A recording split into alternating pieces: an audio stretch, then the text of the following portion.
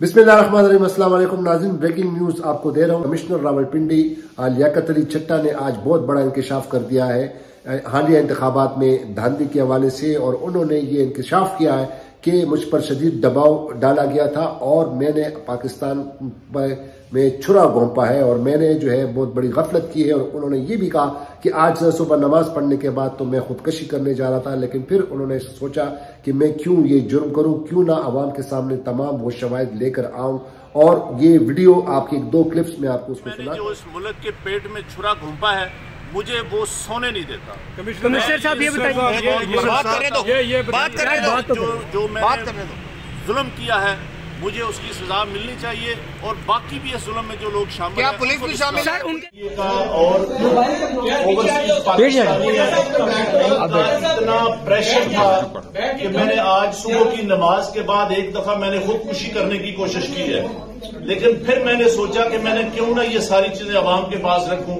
मैं खुद क्यों हराम की मौत मरूं? और मैं ये सारी चीज़ें अवाम के सामने क्यों ना रखूँ?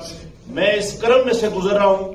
मेरी तमाम ब्यूरोक्रेसी से गुजारिश है कि आपने इन सियासी लोगों के लिए जो मुख्तलिफ़ शेरवानियाँ सुहा के मिनिस्टर बनने को फिर रहे हैं, इनके लिए कोई गलत काम न करें। हम लोग ये काम बता वीडियो सुनने के बाद नाजरीन, ये बात बिल्कुल साफ़ और शफाफ और वाजे हो गई है।